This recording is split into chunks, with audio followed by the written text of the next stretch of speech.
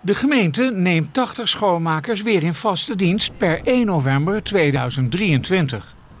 Op dit moment zijn de schoonmakers in dienst bij diverse schoonmaakbedrijven en hebben matige arbeidsvoorwaarden.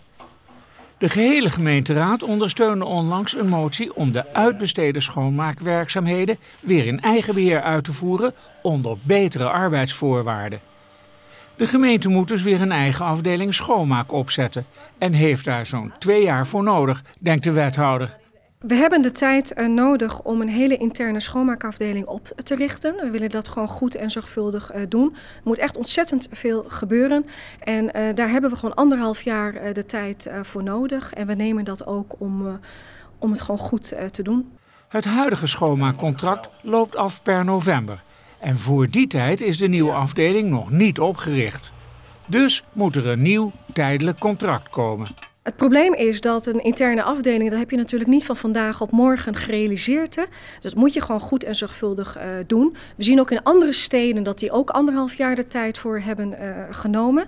Daarnaast hebben we onze eigen uh, contract die we nu hebben, die loopt november van dit jaar af. Dat is echt heel kort om dan al te kunnen inbesteden. Dus vandaar gaan we in eerste instantie een korte sociale aanbesteding doen. En daarna beginnen we met het inbesteden van, van de mensen.